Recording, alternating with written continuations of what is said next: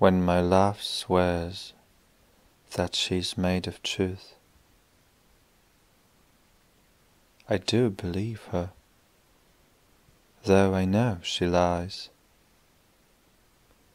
that she might think me some untutored youth, unlearned in the world's false subtleties,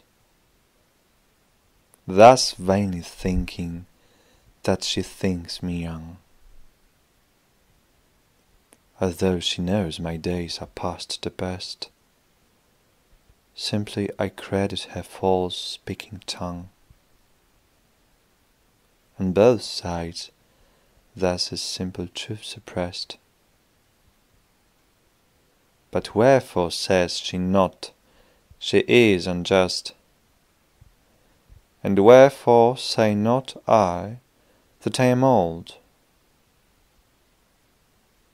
How love's best habit is in seeming trust. And age in love loves not to have ease told. Therefore I lie with her, and she with me,